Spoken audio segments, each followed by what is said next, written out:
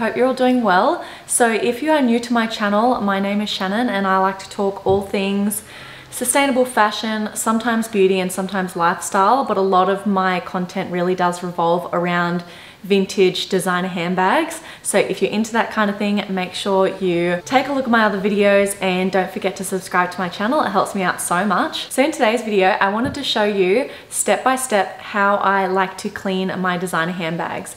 Now, the products that I'm going to be using today have been gifted by Luxegarde. So thank you so much, Luxegarde, because if you've watched any of my other videos, I always just use baby wipes and then a RM Williams leather conditioner that came with my RM Williams boots years ago. So I reached out to Luxegarde because I already purchased handbag straps and stuff from them. And I asked them very kindly if they would maybe send me some products to try and I would try it on my channel. So this way you guys get a very genuine first impression of these products and if you want to go ahead and buy them for yourself I'll leave it all linked below. This bag here you've probably seen it if you watched any of my other videos you would have seen it before. It is the Louis Vuitton Pochette Accessoire and it is a vintage one and I purchased it from eBay probably a year or so ago and I absolutely love it. The only thing is the zip is a little bit warped and it's starting to bother me. So I just thought, you know what, I'm going to try and sell it and I haven't marked the price right up. I've sold, I've priced it to sell and that way the person when they receive it they're not going to be disappointed because they got it for a really good price so therefore there are some minor flaws but it right now it doesn't look great but I promise you once I give it a really good clean it will look 10 times better. So I'm just going to run through all the products that I'm going to use to clean the bag. Now the first one isn't included in the Luxegarde pack but it's because this is only really specific to Louis Vuitton bags because they use brass hardware. So the first thing I'm going to be using is Brasso and you can just get this from your local supermarket and I use this with a microfiber cloth and I polish up all of the brass hardware and it makes it look brand new. This step is time consuming, but it is well worth it. But this Brasso can kind of get on the bag and you don't want it on the bag. So I recommend doing this step first and then that way at the end when you give it a really good clean you're removing all the Brasso residue. So get yourself some Brasso, it's not expensive at all and you can just get it in the cleaning aisle of the supermarket. Definitely use a microfiber cloth, they work wonders. So they're the first two things you'll need for your handbag cleaning kit. Now the rest of the products are from Luxegarde and this is all the stuff that came in the kit. So everything came in a really cute little dust bag uh, and everything's packaged really nicely. Whenever I buy straps from them or anything like that, anything you need handbag related, if you need an organizer, if you need straps, they sell it all. So I'll link Luxegarde below, but they've sent me a leather cleanser. So this is obviously what you use first to clean the bag and then you've got the leather protector. So I'm really keen to use those. And then they've also given me a bunch of different cleaning cloths and each one is for a different step. So the all-rounder cloth is to clean the bag and give it a good wipe down with any dirt or anything like that.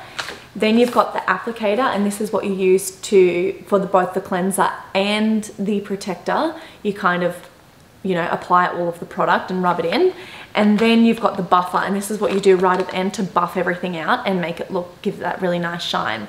So obviously everything's still in their packets. I haven't even used them yet. And once you guys see the difference a bit of cleaning and polishing can do to a vintage bag, I promise you, you'll probably never buy brand new again because it honestly works wonders and buying yourself the right products in the beginning is an investment because you're saving money on secondhand bags but you're bringing them back to life. So anyway guys, enough rambling. I almost went into a little rant about why you should buy secondhand designer items rather than brand new and we all know that that is an absolute trap and I'm not going to go down that path otherwise this video will be way too long but let's just get straight into cleaning the bag.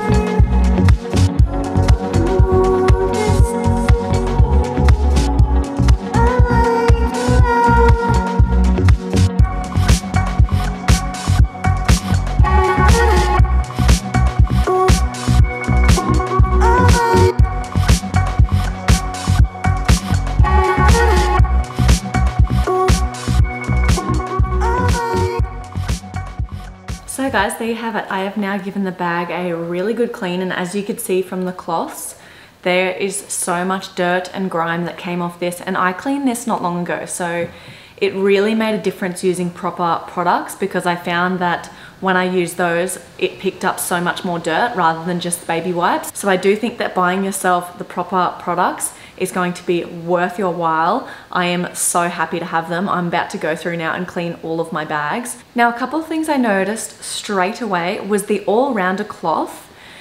It pulled off so much dirt with nothing on it. So I don't know what the consistency of this type of cloth is. It's not microfiber. It's quite soft, but look at that.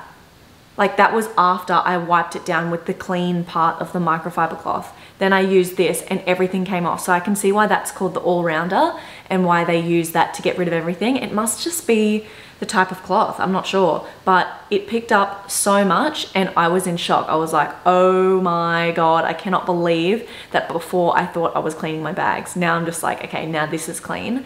So I just went over the whole thing with that and that for sure got rid of most of the dirt and the grime. And then when I used the applicator cloth, with the leather cleanser, I noticed that it really cleaned the leather parts well. Obviously that's what it is designed for, but as you can see there, a lot more came out. So that was amazing and I just gave it a really good clean and the the products smelt really clean as well. So I could tell that the bag, I think if you're someone who has a bag that may even have a bit of smell, I think wiping it even on the inside with this, I mean, don't quote me on it, but it might help get rid of some of the smell. And then once I gave the bag a really good polish and clean, I used the same applicator cloth to apply the leather protector. Now with the leather protector, I will say a little goes a long way. So I use two pumps, but you probably only need one pump per side, if that and you kind of wipe it all over and that smells really nice. It gets rid of any of the alcohol kind of smelling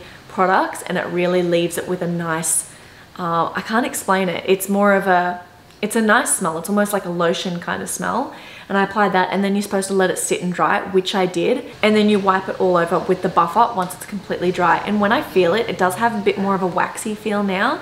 So I can really tell that it is like a full-on protector that has dried on there. And if you have leather bags it is going to help protect your bag so much. And I used that on the strap as well. That's something my RM Williams conditioner didn't do. It kind of just buffed out and made it shiny. But this definitely has more of a matte kind of finish. And it definitely has a protectant kind of residue. You can feel it. It feels different.